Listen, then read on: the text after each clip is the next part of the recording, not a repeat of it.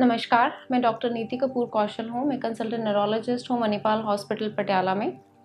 तो आइए जानते हैं कि पार्किंसन डिज़ीज़ क्या है। पार्किंसन डिज़ीज़ ब्रेन की एक डीजनरेटिव कंडीशन है, जिसमें ब्रेन में जो डोपामिन पैदा करने वाले न्यूरॉन्स हैं, वो धीरे धीरे ख़त्म होने लगते हैं, जिसकी वजह से डोपामिन की पैदावार में कमी आती है और उसकी कमी आने की वजह से शरीर में मूवमेंट में दिक्कत आती है। तो इसके सिम्टम्स क्या हैं? इसके चार प्रमुख सिम्टम्स हैं। फ़र्स्ट इज़ ट्रेमर्स ट्रेमर्स यानी कि हाथों में कंपन। इसके ट्रेमर्स को रेस्टिंग ट्रेमर्स और पिन रोलिंग ट्रेमर्स भी कहा जाता है। रेस्टिंग यानी कि पेशेंट जब आराम से बैठे हैं, तब ट्रेमर्स होते हैं। पर जैसे ही वो मूवमेंट करते हैं तो ट्रेमर्स जो है, कम हो जाते हैं और ख़त्म हो जाते हैं। और पिन रोलिंग यानी कि आपको ऐसा लगेगा कि जैसे वो हाथ से माला जप रहे होते हैं।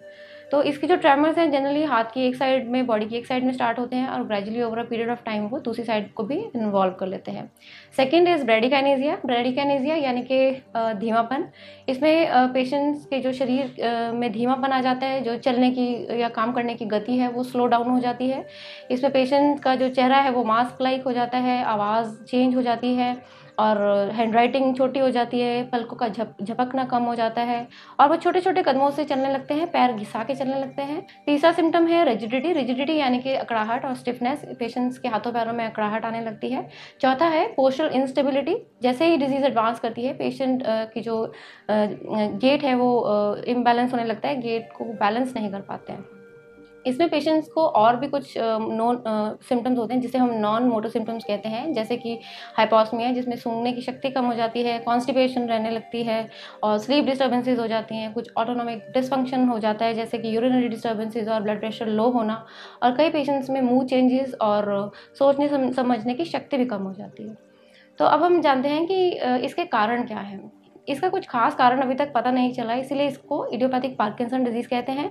हाँ कुछ रिस्क फैक्टर्स देखे गए हैं, जिसकी वजह से पार्किंसन डिज़ीज़ होने की जो टेंडेंसी है, वो बढ़ जाती है। जैसे कि एक्सपोजर टू पेस्टिसाइड्स हर्बिसाइड्स और कुछ टॉक्सिन्स हैं, जिसमें एम पी मैंगनीज है, या फिर जो लोग वेल वाटर का यूज़ करते हैं, उनके अंदर भी देखी गई है। और कुछ केसेज में कुछ जेनेटिक फैक्टर्स का भी रोल है। तो अब हम जानते हैं कि इसको हम डायग्नोस कैसे कर सकते हैं। डायग्नोसिस के लिए जनरली न्यूरोलॉजिस्ट आपको एग्जामिन करते हैं और एग्जामिनेशन करने से ही उनको पता चल जाता है कि आपको पार्किंसन डिज़ीज़ है और कुछ कंफ्यूजिंग केसेस के अंदर डोपामिन स्कैन्स का इस्तेमाल किया जा सकता है। और अब हम जानते हैं कि पार्किंसन के जो लक्षण हैं, क्या ये सिर्फ़ पार्किंसन डिज़ीज़ में होते हैं? तो ऐसा नहीं है, कुछ ऐसे एटिपिकल पार्किंसन या पार्किंसन मिमिक्स कुछ ऐसे डिज़ीज़ हैं जिनके अंदर पार्किंसन जैसे ही सिम्टम्स होते हैं।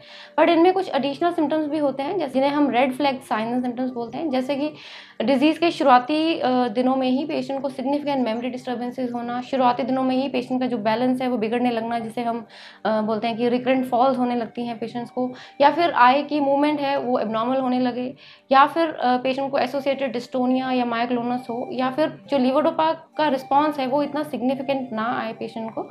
तो ऐसे केसेस में पेशेंट को एटिपिकल पार्किंसोनिज्म हो सकती है। इसको भी डायग्नोस करना उतना ही इंपॉर्टेंट है क्योंकि इसका जो डिज़ीज़ कोर्स है या प्रोग्नोसिस है या फिर रिस्पॉन्स टू ट्रीटमेंट है वो बहुत ही डिफरेंट है।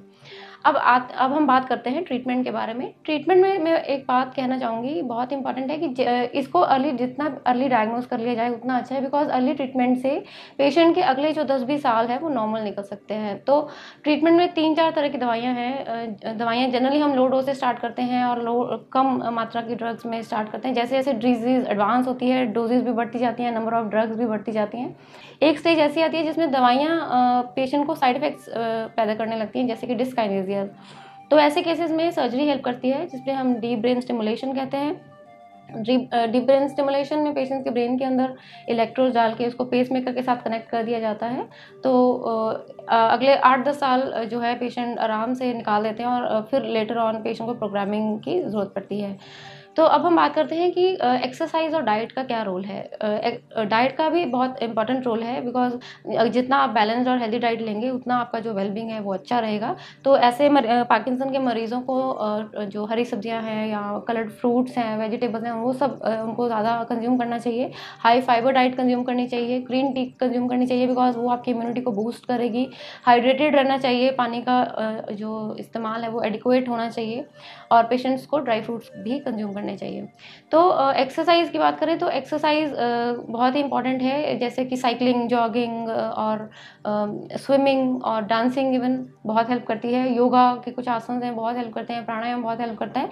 तो ऐसा देखा गया है कि जो पेशेंट्स रेगुलर एक्सरसाइज और फ़िज़िकल एक्टिव रहते हैं, उनका जो डिज़ीज़ प्रोग्रेशन है वो स्लो डाउन हो जाता है।